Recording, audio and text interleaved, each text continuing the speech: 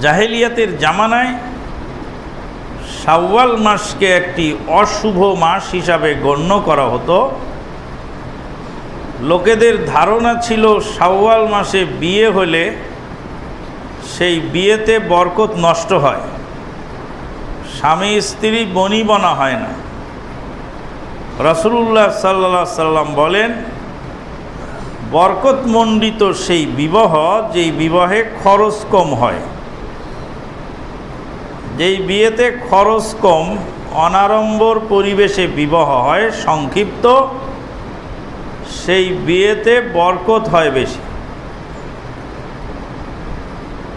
বরকতের জন্য বিয়ে শাদী সিম্পল এবং সহজলভ্য হওয়া উচিত। আমরা পিস টিভির আলোচনায় বলে এসেছিলাম যে বিবাহ যত সহজলভ্য হবে জেনার বাজার তত বন্ধ হবে। আর বিবাহ যত কঠিন হবে, জেনার বাজার তত গরম হবে। কাজেই বিবাহটা সহজলভ্য হওয়া উচিত। রসুল্লাহ সাল্লাহ আলহিসাল্লামের কাছে একজন সাহাবি বিবাহের প্রস্তাব দিলেন, গরিব মানুষ। বিরাট লম্বা ঘটনা বুখারিতে এসেছে। রসুল্লাহ সাল্লা সাল্লাম বললেন, মহারানা স্বরূপ তুমি কিছু নিয়ে আসো।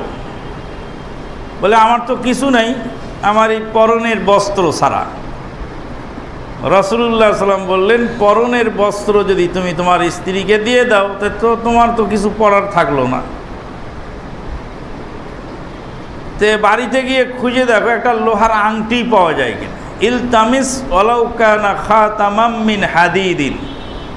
লোহার আংটি খুঁজে দেখো, সেটা পাওয়া যায় কিনা? বলে, না, লোহার আংটিও পাওয়া গেল না।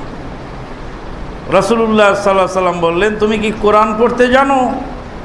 বলে হ্যাঁ কোরআন পড়তে জানি। তো কোরআন কি সুরা জানো? বলে, সুরাতু কেদা বা সুরাতু কেদা অমুক অমুক সুরা আমার জানা আছে। রাসুল্লাহ সাল্লা সাল্লাম বললেন সৌয়াজ না কাহা বিমা মা কামিনাল কোরআন। তোমার কাছে যে কোরআনের অংশ আছে, এর বিনিময়ে তোমাকে আমি এর সাথে বিবাহ দিলাম। এই হাদিস থেকে উলামায় কেরামগণ দুইটি গুরুত্বপূর্ণ মাসলা সাব্যস্ত করেছে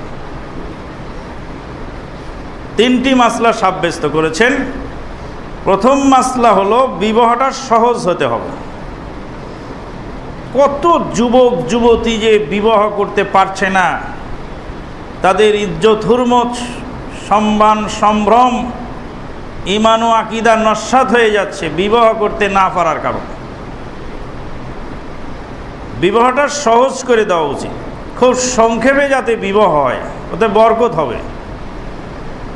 এবং যারা দায়িত্বশীল আর যারা বিত্তবান, তাদের উচিত বিবাহর ক্ষেত্রে মানুষকে সহযোগিতা করা। আরব দেশের লোকেরা মানুষকে সহযোগিতা করে বিয়ের ব্যাপারে। হে যুবক, তুমি বিয়ে করো না কেন? বলে, আমার বাড়ি ঘর নেই। এই যে টাকা নাও বাড়ি ঘর করো, বিয়ে করো। এই সমস্ত ক্ষেত্রে ধনাঢ্য ব্যক্তিদের হাত সম্প্রসারণ করা উচিত। বলছিলাম যে, বিয়েতে বরকত হয় মহারানা কম হলে।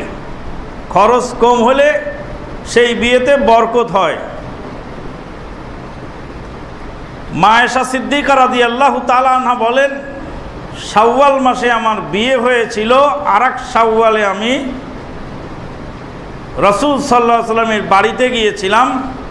ওয়াকুন্তু আহাব্বান নিসাই, আহাব্বুন নিসাই ইলান নবী ওয়াকুন্তু আহাব্বান নিসাই ইলান নবী সাল্লাহ সাল্লাম। আর আমি ছিলাম নবী সাল্লাহ সাল্লামের নারীদের মধ্যে, স্ত্রীদের মধ্যে সবচেয়ে প্রিয় পাত্রী। কাজেই সময়ের শুভ, অশুভ, ক্ষণকালকে বিভিন্নভাবে বিশ্লেষণ করা দলিল ভিত্তিক হতে হবে, দলিলের বাইরে চলবে না।